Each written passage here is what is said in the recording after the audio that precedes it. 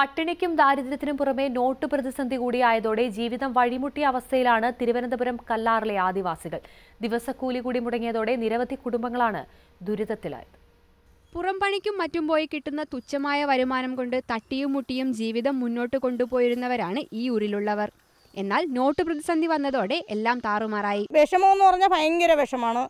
ഇപ്പം നമ്മൾ ആ ഒട്ടുകറയുണ്ട് ഷീറ്റ് തോനെയൊന്നുമില്ല. എങ്കിലും രണ്ട് ഷീറ്റേ കിട്ടും. അത് കടയിൽ കൊണ്ടുകൊണ്ട് പൈസ കിട്ടണില്ല. കടയിലുള്ളവർ തൂക്കി എടുത്തിട്ട് തുണ്ട് തരുന്നു. അത് അവർ നാളെ ഒരു സമയത്ത് പൈസ തരുമോ ഇല്ലയെന്നൊന്നും അറിഞ്ഞുകൂടാ. പാർവതിയെ പോലെ തന്നെ മാധവൻ കണിയാനും വയസ്സാൻ കാലത്ത് ദിവസക്കൂലി പോലും കിട്ടാതെ നട്ടം തിരിയുന്നു. ആരും വിളിച്ചെന്നില്ല പോണില്ല.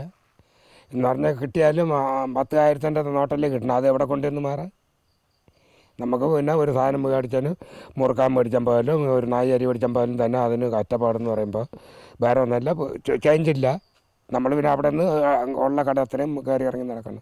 കല്ലാറിലെ ആദിവാസി ഊരിലെ എല്ലാ കുടുംബങ്ങളുടെയും സ്ഥിതി ഇതൊക്കെ തന്നെ. എത്തിപ്പൂരം മുളകൊക്കെ കൊണ്ടുപോയപ്പോൾ തുണ്ട് തന്നു. അഞ്ഞൂറാണ് തന്നു. അത് മാറിയെടുക്കാൻ ഞാൻ വളരെ കഷ്ടപ്പെട്ടു.